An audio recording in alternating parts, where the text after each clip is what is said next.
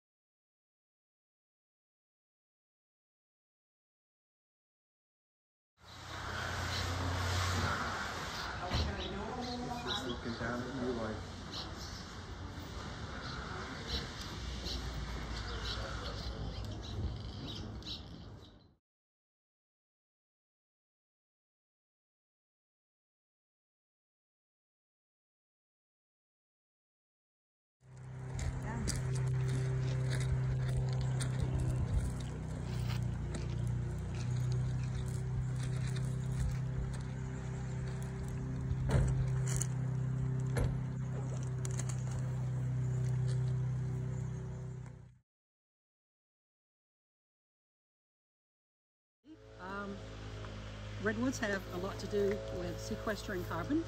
Um, we've got a lot of stories of uh, park restoration going on. Um, in a nutshell, two-thirds of the forests in this park were logged. We only have a third of the old growth remaining forests that makes up the park boundary. And if you want to get really nerdy, if you look on the ridge line behind you, up on the top of that ridge line, that's the Lady Bird Grove. And your eyes might start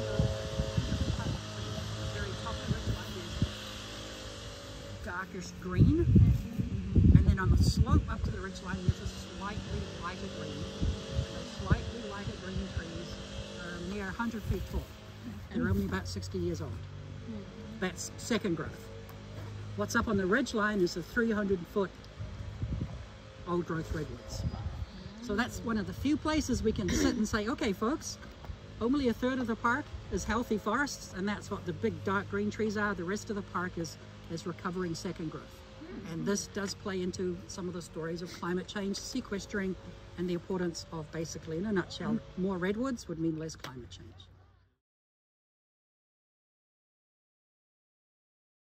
So yes, a couple of babies worth of carbon dioxide and weight comes out of your car just driving from the beach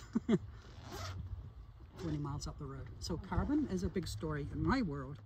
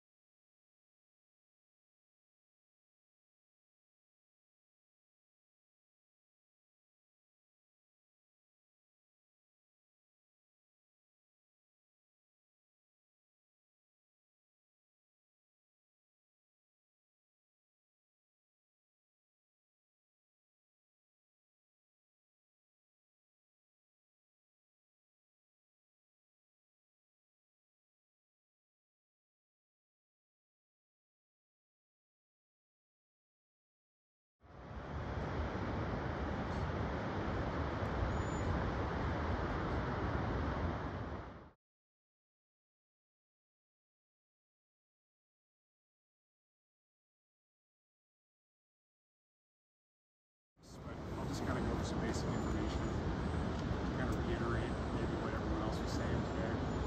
Um, as you might know already, our parks are a combination of national and state parks. So we have